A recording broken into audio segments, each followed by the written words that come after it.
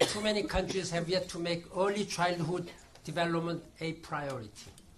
We need to invest more, not just in education, but in health and protection. We need to target our investment and intervention to reach children at greatest risk of being left behind. Children in the poorest communities and countries, children from ethnic minorities and other marginalized groups, children with disabilities. And we need to build public awareness about the importance of early childhood development.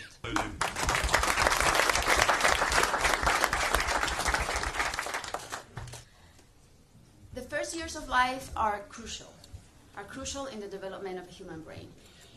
And the advances in neuroscience are revealing striking information, striking discoveries about how early experiences in the first five years of life can have a huge impact on the developing brain of a child and repercussions that can last the whole lifetime.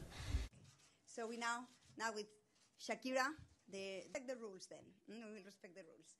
But um, Investing in ECD boosts economic growth, it offsets inequality, and it helps eliminate crime and violence.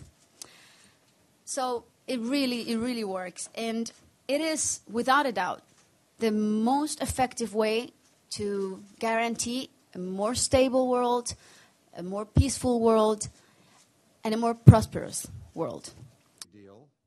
It doesn't cost very much to provide uh, cheap. It is, without a doubt, one of the greatest humanitarian crises of our time. And the image of that little boy washed up on the shore is a tragic one and one that we shouldn't ignore and shouldn't forget. And it should, and it should humanize the plight of the refugees because children should not pay the price of war and because all of us have a responsibility today and we cannot escape it. is a lot easier than an aggressive, out of control 22 year old or 32 year old. And the Imagine all the people sharing all the world.